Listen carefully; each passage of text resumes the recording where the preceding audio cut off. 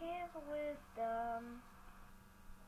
I hope I'll meet God and see his path.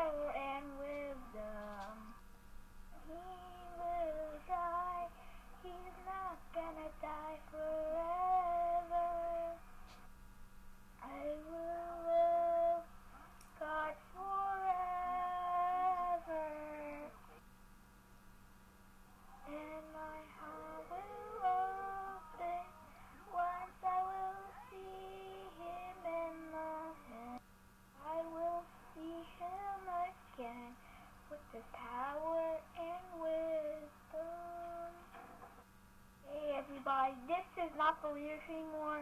And sorry it was so short.